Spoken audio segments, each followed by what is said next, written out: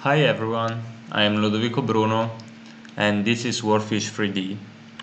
Um, if you don't know Swordfish 3D and you don't have downloaded yet, please visit us on Swordfish 3D where you can visit the website, discover all the features and the new quick guide here and from this button download you can access directly to the Food4Rhino page and download it for installing.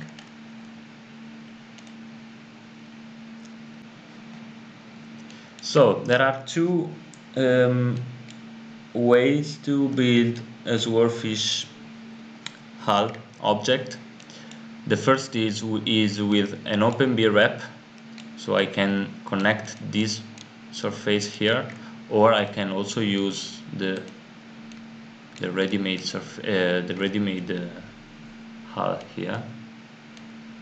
And to close one half hull to a closed uh, swordfish hull object I can use this component the swordfish close hull.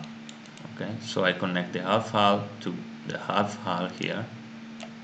And now it's working. So we can see as output there is the closed BREP that is my BREP mirror my BREP mirror okay?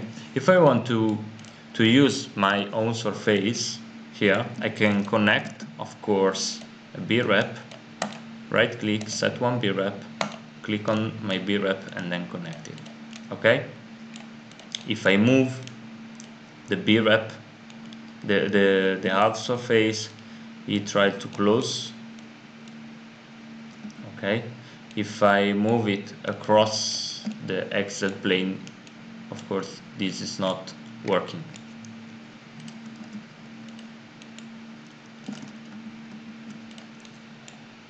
To, to import and to create a swordfish hull object that we have here that is from a closed BREP so I've prepared for example uh, let me show this okay?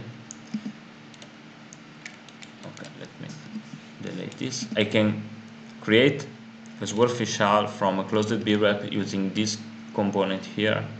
The new swordfish hull from closed BREP of course right now I have to connect BREP that is closed here. Okay so now is working.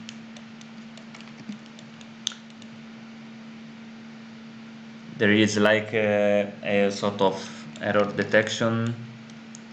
For example, if my object is not perfectly aligned with the with the x plane, x z plane, or if I move it here I can see there is a warning message. So, um, the second step is run hydrostatic analysis. Once I have built my swordfish hull object, I can connect it to the swordfish underscore hydrostatic. Okay, and now I can connect the panel to my report and see that I have a lot of properties written here. Okay.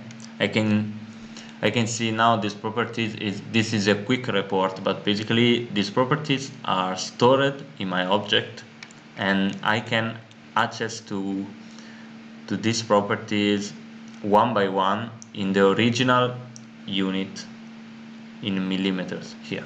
So we can inspect our object here with the swordfish get property okay I have to connect my swordfish hull coming as output from the hydrostatic here. And if I move the mouse over the end component that is the name of the property that I want to extract I can see all the properties that I can extract starting from the name the volume length overall, beam overall, etc. So if I double click and write LOA, that is the name of the length overall I can extract the properties here with that panel I can see the name of the properties the, the description the frame of reference. We are going to see in another tutorial what does it mean. And the value.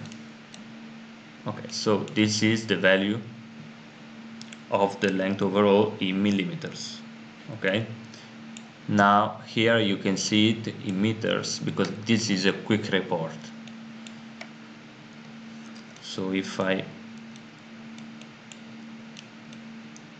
create a multi-line data. I can extract for example length overall, beam overall and the volume. Okay now I have the three names three descriptions volume of the submerged hull the frame of reference of my property and the values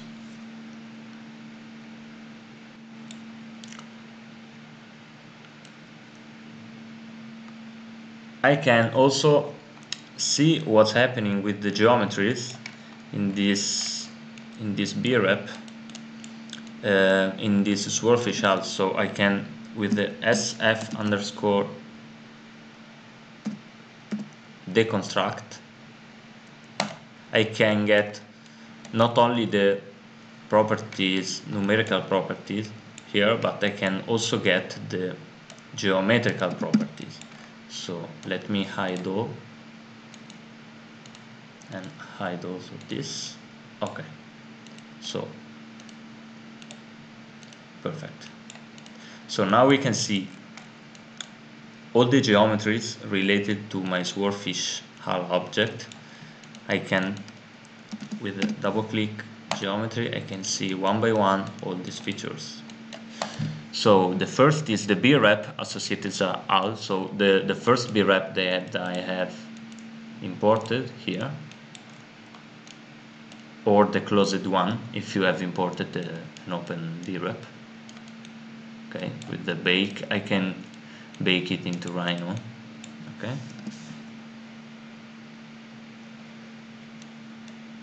The drawing waterline here the design waterline the center of buoyancy the center of gravity that I don't have set right now okay so it's a null point. We're going to see in another tutorial with the balance component uh, how we can set the gravity point. The center of flotation the frame of reference that is a plane basically now is equal to the xy plane the immersed BREP this is very important okay the center of projected area, the projected area course, and the different uh, freeboard point.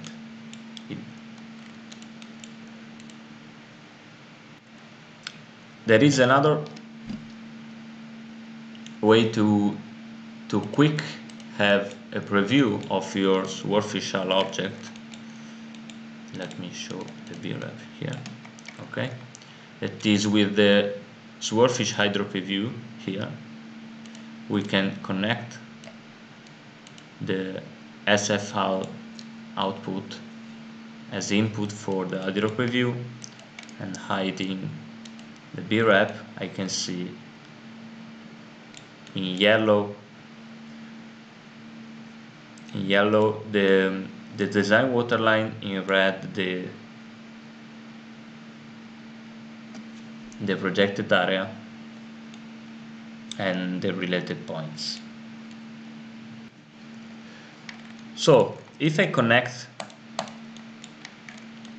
for example this standard uh, surface I can create a SFHull from open BREP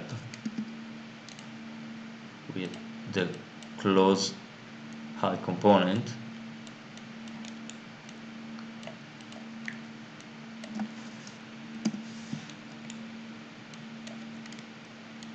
You can see basically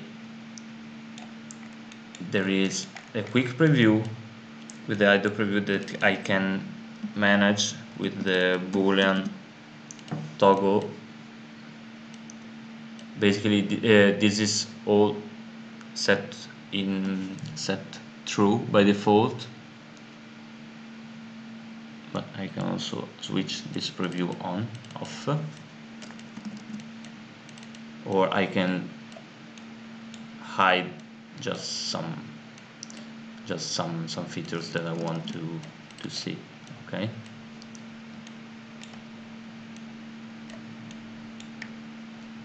and this is all parametric so I if I move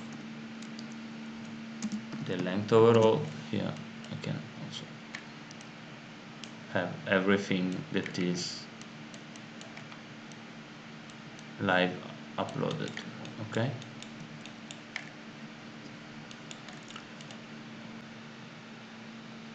So summarizing we have three steps different steps. In the first step we have to build.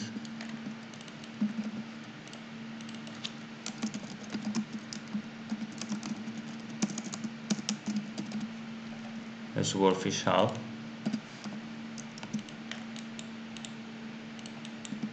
In the second step we have to run the hydrostatic